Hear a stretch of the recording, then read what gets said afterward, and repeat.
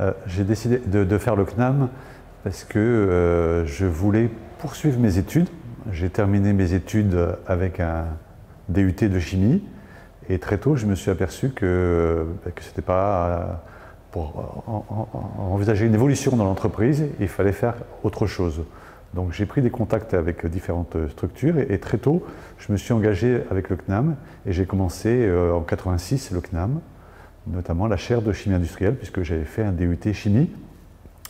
Et ensuite, euh, j'ai poursuivi euh, jusqu'au diplôme d'ingénieur CNAM en chimie industrielle que j'ai eu en 93. C'était pour compléter effectivement mon, cursus. Euh, donc moi j'avais fini, j'avais fait un DUT, je voulais effectivement compléter. Donc j'ai commencé par un DEST à l'époque, c'était un équivalent d'une maîtrise. Et puis j'ai eu j'ai hésité un tout petit peu et puis j'ai rencontré des gens formidables dans l'équipe du conservatoire, euh, de l'équipe de, génie des procédés, Alain Delacroix, Catherine Porte. Euh, Monsieur Longchambon, et j'ai décidé de continuer euh, de mémoire d'ingénieur NAM, puisque j'avais apprécié tout au long de mon parcours la qualité de l'enseignement, la chaleur humaine, la convivialité, tout en étant très très professionnel, et donc ça m'a donné envie de continuer. Voilà, et donc j'ai poursuivi. Euh, pendant six ans, j'ai fait effectivement le CNAM de 86 à 93 jusqu'à obtenir le diplôme d'ingénieur. Donc j'ai travaillé en parallèle puisque j'étais à l'époque chez, chez, Ron Poulenc. Donc j'ai associé effectivement vie familiale, le travail qui était un travail dans le centre de recherche et les études le soir. Donc ce qui n'est pas, pas simple. Hein. Donc euh, il, fallait effectivement une grosse motivation pour, euh, pour faire ça. Et ben, voilà, je venais, je l'ai fait de manière intensive parce que j'avais une soif d'apprendre. Effectivement, donc j'ai travaillé euh, intensément et je venais deux, trois fois par semaine euh, au CNAM pour, pour, euh, pour accueillir les unités de valeur.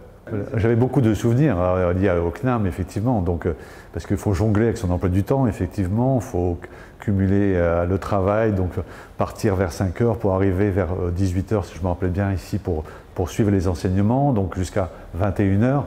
Donc faire le CNAM, effectivement, il faut vraiment être motivé, mais il faut, être bien organisé. Il faut aussi avoir des employeurs qui acceptent aussi effectivement d'avoir cette souplesse.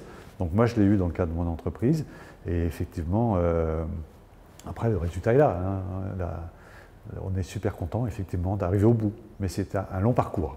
Alors, par la suite, moi, j'ai, euh, ce qui m'a apporté par la suite, c'est que je suis devenu ingénieur, pas ingénieur tout de suite, euh, pas au sein de mon entreprise, j'étais chez Ron Poulenc, mais j'ai trouvé aussitôt un, boulot, le premier, premier CV que j'ai envoyé.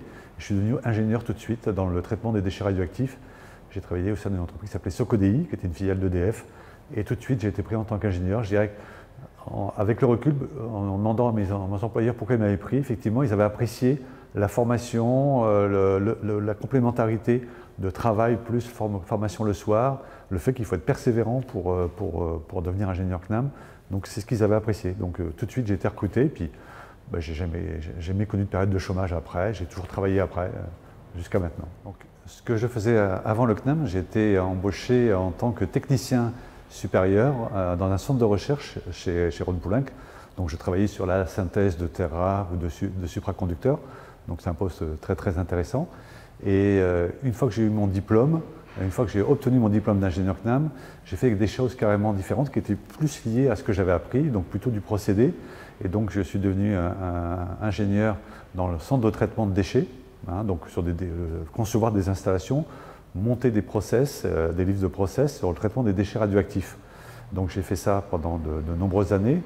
J'ai bifurqué après sur le traitement des déchets électriques et électroniques, avec une fonction qui a un peu évolué, plus seulement technique, mais également plutôt des fonctions euh, économiques, commerciales, marketing, lobbying, puisque maintenant, euh, bah, je suis capable de faire un peu tout et de pouvoir faire des business plans, de pouvoir faire euh, du lobbying, de pouvoir intervenir auprès du ministère.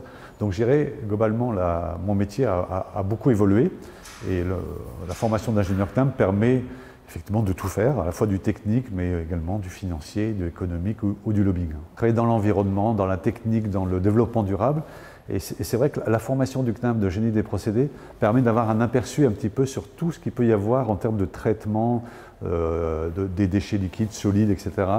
Et c'est vrai que ça constitue un, bon, enseignement, un bon euh, aperçu de tout ce qu'on peut faire.